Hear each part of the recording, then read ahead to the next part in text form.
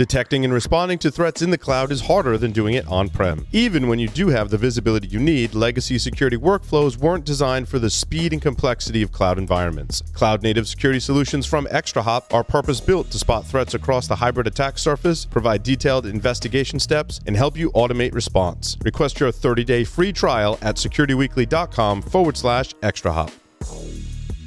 Welcome back, everyone, to Enterprise Security Weekly. Are you going cloud native? See how to integrate application security in our next webcast with Signal Sciences. Also, an upcoming webcast, learn how penetration testing reduces risk in our May webcast with Core Security, a help systems company. Register for upcoming webcasts or virtual trainings by visiting securityweekly.com forward slash webcast. You can also access our on demand library by visiting securityweekly.com forward slash on demand. Can you? I there's a little bit of work going on in a migration uh, that's happening currently. You, you can. I, I updated them all this morning. Okay, good. I know uh, the team was was working on that, and they were like, "Where are the videos?" I'm like, "Wow, I'm really glad that I wrote all those scripts to download all of our videos." and so we have we have all the content. Uh, we did lose a drive that had some of our our backup stuff on it, so we had to pull from some different sources. Uh, backups of backups are important, right? So uh, we do have all those, so make sure you check out the on demand archive. You get one CPE credit for every webcast or virtual training. Uh, Mark Orsi is here with us today. He is the president of Global Resilience Federation, a nonprofit with the mission to develop and support threat intelligence and information sharing communities, including financial services, retail, professional services, energy, transportation, and healthcare. Mark, welcome to the show. Thanks, Matt. Uh, glad to be here. Good this is Paul. Sorry. That's Paul. Yeah, we, we had him we had him switched around earlier. On yeah. The, on the... oh, I thought you said. sorry about that. No, that's okay. we we introduced it quick. Uh, so, Mark, it's great to have you uh, on the show. Um, so, Mark, what uh, tell us a little bit about the um, community effort that you have going on. Sure. So we are, as you mentioned, a nonprofit uh, with the mission to develop and support threat intelligence and information sharing communities. Uh, you may be familiar with FS-ISAC. That's an information sharing and analysis center. We currently support 13 communities across financial, retail, professional services, energy, transportation, and health. Uh, prior to GRF, I worked at Goldman Sachs for seven years, working on data protection, big data approaches to behavioral analytics, threat management. Uh, then I worked for KPMG for a few years. Well, I worked with multiple organizations, in some cases establishing an entire cybersecurity program from soup to nuts. Uh, and then I was the, the product owner of data protection at JP Morgan Chase. It's great to be part of GRF now, where it can help thousands of organizations establish a collective defense against emerging threats. Um, and I can tell you a little bit about that if you'd like to, to learn more. Yeah, sure. Let, let's start with that before we talk a little bit about the work from home stuff. Sure. So, in collective defense, if we receive an alert from one or more members in a community, we can share it out to all the members as potentially targeted attack on that sector the more members we have, the more sensors we have in the environment for those emerging threats. So this effectively multiplies the detective capability we have and the effectiveness by the number of members that we have in the community. So it's much easier to identify emerging threats uh, with this view across multiple organizations. So in our communities, we use a hub and spoke model uh, to help the organizations we serve. So our analysts work with the members that submit information about a threat or incident where they were impacted. We analyze and help the member remove any identifying information, and then we can share that out more widely. And so we've seen this really work, um, and we've, we've seen cross sector sharing where we've actually had indicators of compromise come in. We've worked to, to share them out to multiple communities, and then they were effectively able to prevent that attack from occurring a day later. That's awesome. And Mark, what I love about that is oftentimes I think the reason why people don't share things is because of the extra work involved in sanitizing it or anonymizing it, right? I, and I'm guilty of that myself. In fact, oftentimes I won't share some code right away because I'm like, I need to clean it up and you know make some changes so that keys and other things aren't you know floating around and, and better protected. The same thing with data. You know, just sanitizing that is usually uh, one of the reasons why people are reluctant to share, right? So help with that yeah, is great. It's hard when you're in the middle of an attack or in the yeah. middle of a crisis to actually um, implement that information sharing, but it should be part of your processes so that it's, it's standard. Um, and you can really help protect the entire community and then benefit from it on the other end as well. Agreed. Uh, yeah. Mark, today you wanted to talk about the work from home and the business uh, impact and security risks. Certainly, it's a topic we've been uh, discussing on many of our shows. Uh, so we wanted to get your take on it. Sure. Um, first, you know, setting the stage. Right, most organizations were not prepared for this type of event. Um, I think you can see that across every industry and every sector. The types of planning that were done, continuity planning, pandemic planning, uh, previously expected like some time of con- containment or constraining the event to a few locations, but businesses that have effectively risk management, uh, effectively implemented risk management and business continuity planning, they still only prepared for 10 or 15% of their workforce to be remote for a period of time. This kind of event where we had this widespread impact for sectors uh, that still operate and require up to 100% of their remaining workforce to work remotely for a minimum of months and, and maybe over a year, uh, we're, we're seeing that as, a, as a, a huge shift and a huge impact to businesses. And so, Mark, how do you, you know, as you, talked about it, right? To only prepare for 10 to 15%. Um, when we get out of this crisis, what kind of changes do you see to continuity planning going forward right i mean this is it's really kind of a black swan event when we think about it in the in the larger scheme of things right it's something we never anticipated not only the size but the duration does that change the way we have to think about continuity planning going forward yeah, I think it does. And I think we need to think about our supply chain. And, and even coming out of this, we need to think about um, a new position of supply chain risk manager, for instance. But you know, even though we're working on hundreds of medical trials of vaccines, antivirals, treatments, um, and we're flattening the curve as, as we can see and we hear about, um, we we still know that this is is as um, infectious as it was when it first was introduced. There's been recent modeling by Harvard School of Public Health that suggested there's going to be repeated waves of social distancing that may be required. And, and so that's what they're talking about reopening the economy, but really preparing for repeated waves of more control and then letting the controls go and then applying more control until we have effective treatments. We see this widespread, you know, global turn down, um, widespread GDP impacts of up to 3%, um, worse than Great Depression. So, you know, how are we managing those changes and what, what do we need to do to plan for it? Um, even if you had a pandemic plan in place, you should be really working to understand your immediate exposure, evaluate your operations and supply chains um, for multiple scenarios, identify your potential points of failure. Uh, I think people should really be working to refresh and tailor their pandemic and continuity plans, developing an operating model for the crisis, um, defining those trigger points, the required resources you have, and specific actions to take. And if you don't have a plan yet, um, there's CDC's pandemic uh, planning checklist, and there's FEMA's continuity planning templates that you can use as a baseline. Uh, I also encourage you to read. McKinsey had a, a great report um, which goes into a good amount of detail where they're uh, they're specifying for larger organizations, for instance, creating a task force with five teams, 18 work streams focused on employees, supply chain stabilization, customer engagement, stress testing, and operations. And that's their recommendations were in line with other firms that we saw uh, from KPMG and Bain and others that, that we saw as well. You know, one of the big impacts here is obviously the the remote nature of of people, you know, not on premise anymore, right? Uh, which creates some interesting challenges from a threat intelligence, threat sharing perspective. Um, uh, you know, what do organization, what should organizations be doing to continue to monitor for threats and attacks in this really distributed remote environment that we weren't really set up for.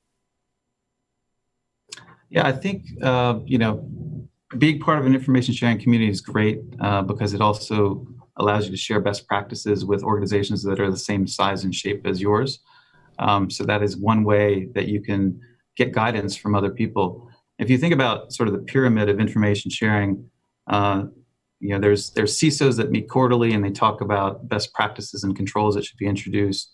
There's the the lowest level, which is sort of machine to machine information sharing of indicators of compromise um, that can maybe uh, uh, immediately uh, be applied to your security controls. And there's a middle layer of, of information sharing where we really focus, which is you know, in that threat analyst looking and aggregating all the information from the different sources and then talking about, you know, what are the controls and best practices and things that we need to do, um, you know, for our organization.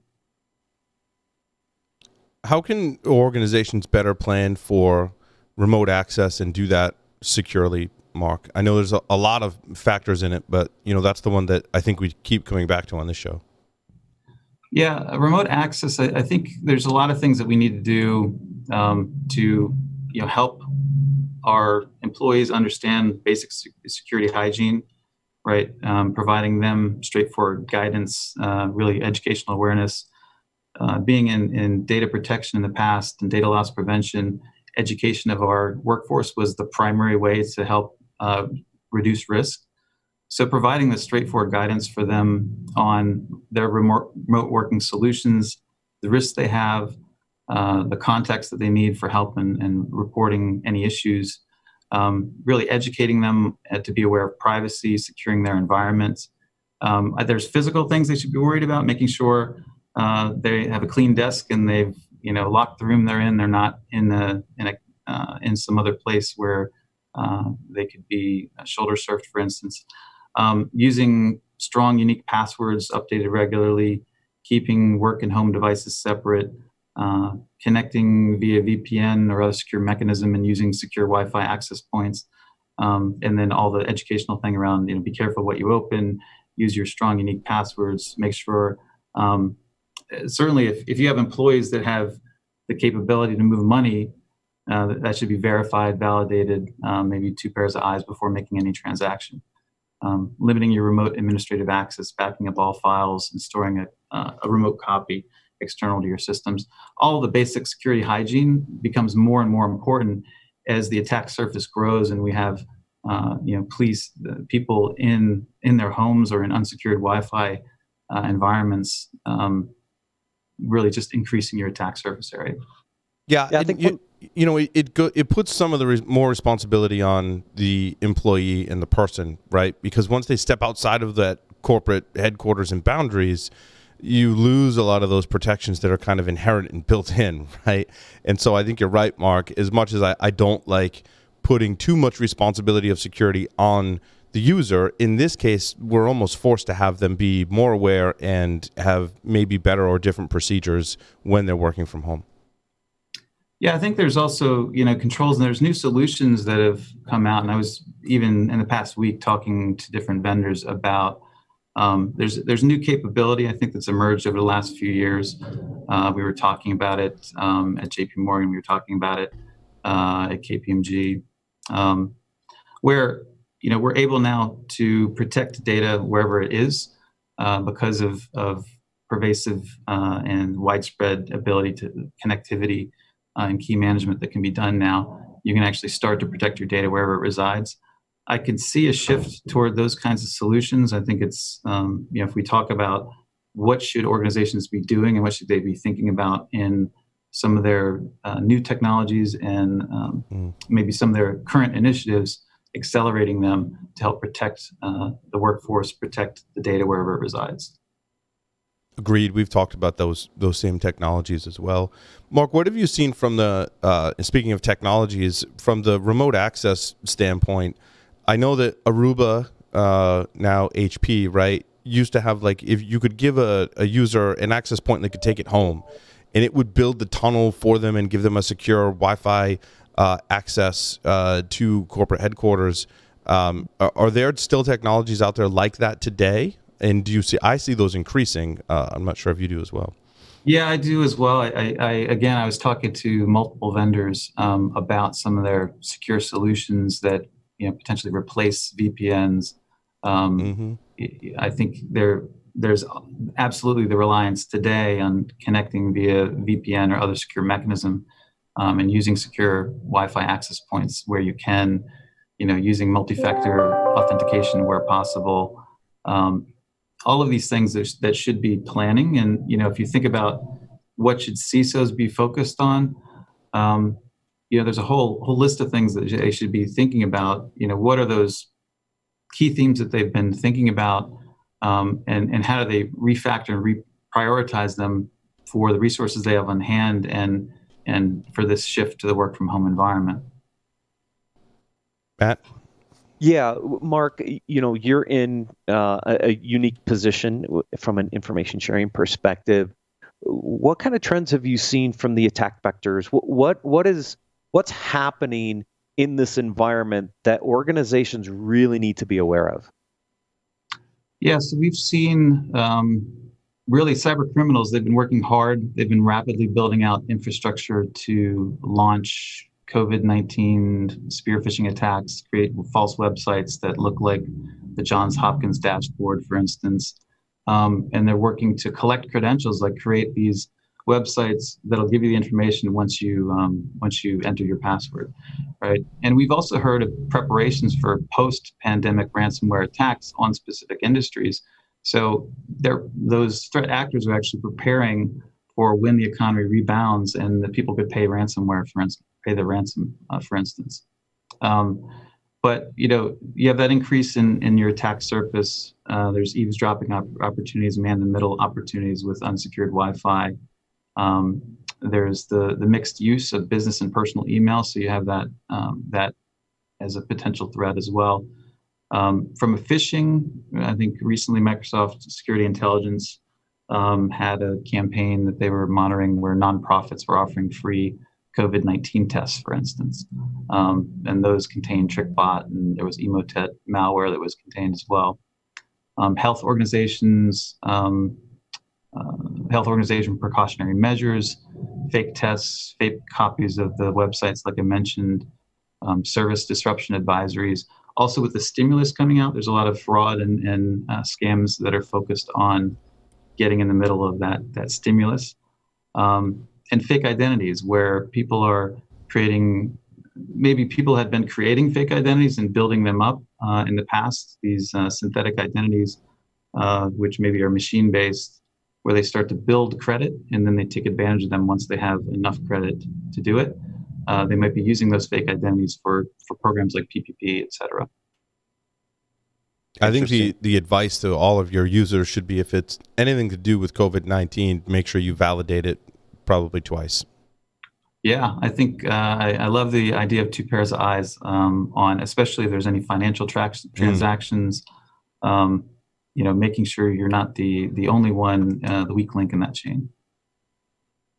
Yeah, I think one of the big challenges, you know, separating home and work email is kind of tough in some environments because you're using your home PC now potentially to do work because you weren't issued a, a corporate computer before everything happened. And, and so the ability to cross contaminate has to be a really big concern in this environment. And so, you know, it, it, even if it's not in your work email because you have uh, efficient um, email filtering technologies in place that, that work, you could still get infected because your home PC uh, and your home email doesn't have that same protection. That's exactly right. I think um, making sure, again, that's educating your workforce on best practices. If you have a separate device for work, that's the best way to go. And if you have that, if you're only using the the, the VPN and the the, um, the the standard channels, uh, that are controlled, that's that's definitely the way to go. So again, you talk about sort of shifts. I think um, you know having worked for large financial organizations again. Uh, uh, who are always, you know, we're always, I think, a little bit ahead in the maturity of security um, than other industries. And so, you know, our move to the cloud has been kind of uh, uh, slow and precautious. Um, but even you know in the last couple of years, we were moving toward you know Office 365 and a lot of these types of solutions. And I just think that's going to be a dramatic and continued shift uh, to uh, SaaS type solutions because now the data may be more protected in those environments than they were, you know, in your own infrastructure. Yeah, and I think that will have a very interesting impact on threat intelligence, threat sharing, because now you're going to start to see those attacks and those indicators start to shift from traditional on-prem maybe now into some of these different cloud environments so you'll probably start to see that trend in, in the kind of information and sharing a- across your member um, environment as well yeah and the the other side of that coin which is the negative is is now those are you know larger those are larger targets for attack and potential impacts. So if one of those, you know, we've seen attacks too on uh, managed security services providers as well, because once uh, a, a, threat actor gains access to those, then they can leap out to the other organizations that are clients. So we see those central hubs of services as also, uh, you know, strong points of attack for these threat actors, and then they can, you know, spread from there. Yeah, you talked about supply chain. I mean, if we think about not only our third party, but fourth and fifth party dependencies in that outsourced chain, those also become really interesting concentration points for attacks in the future. Yeah, absolutely. And and I, I talked a little bit about having that supply chain risk manager, right? You're worried about uh, your vendors, your supplies, your third party risk. Um, and, and you know, part of this too, I, I kind of go back to information sharing as well uh, you know, making sure that you're assessing the risk from your vendors is really important and foundational component of any cybersecurity program is information sharing as one of those many controls that are in the, the NIST and cybersecurity framework. Any Matt, any other questions for Mark? No, I'm good. Thank you, Paul. Mark, anything else you wanted to uh, talk about today? Um, I think just just as far as you know, CISOs, what they should focus on. Um, I think making sure you've kind of identified your key themes, prioritized your resource and activities, making sure you have the infrastructure and capacity um, for what you need, uh, including that entire uh, that entire mobile workforce connectivity. So devices, laptops, again, you know, making sure they have their own uh, devices. Uh, VPNs, video conferencing becomes you know key as well. Um, are all of these modes of connectivity secure? I think that's something you need to ask. Um, you know, making sure you have the appropriate scaling for your VPN concentrators, your portals, your gateways, um, or identifying alternative mechanisms for delivery for handling that large work from home workforce. Um, and you need to consider your suppliers, your contractors, your vendors, other folks that need access as well in that entire pool. Making sure you have adequate um, help desk operations capacity, they're trained to respond um, to the new types of queries that they're going to be getting, uh, maybe more frequent login password changes, access uh, to systems. Um, making sure you can split your functions into those that are critical to ensure you have the capability um, and the capacity um, as you ramp as you ramp up your overall capacity that at least your critical functions have the capabilities they need um, and then you know asking questions uh, should you whitelist applications block not everything that's non-essential to meet the capacity that you need? Um, are you adequately testing and monitoring your capacity and connectivity across infrastructure, applications, and operations? And then, you know, how do you manage if a significant portion of your workforce or supplier staff are out of commission? What do you do if that crisis impacts you? If a large portion of your workforce is in a hotspot um, and they need to to really lock down? You know, are you ready for that? Uh, yeah, so these are all things that, that should be considered for CISO and really for, for anybody who's who's responsible for operations.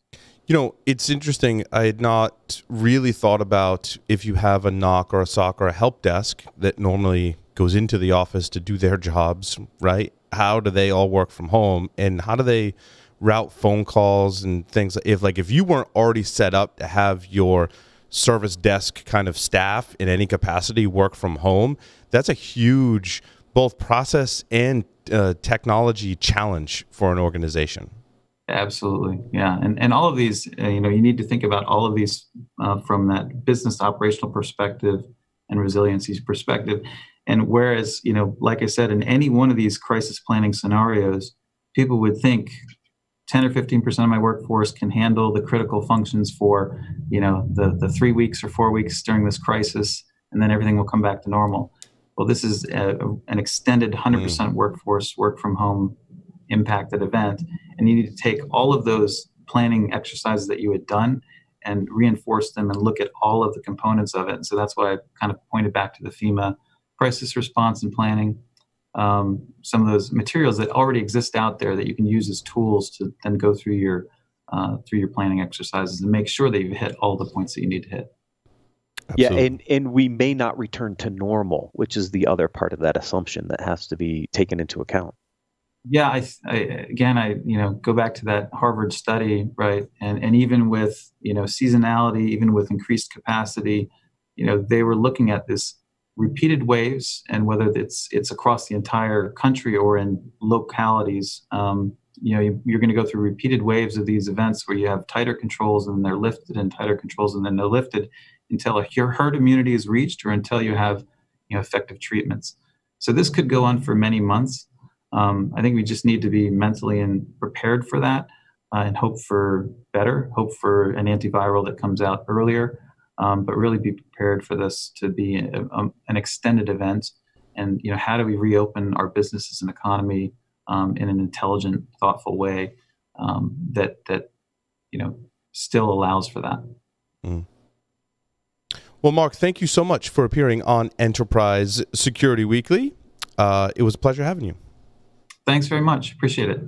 And with that, we'll take a short break and come back with our next guest for this episode.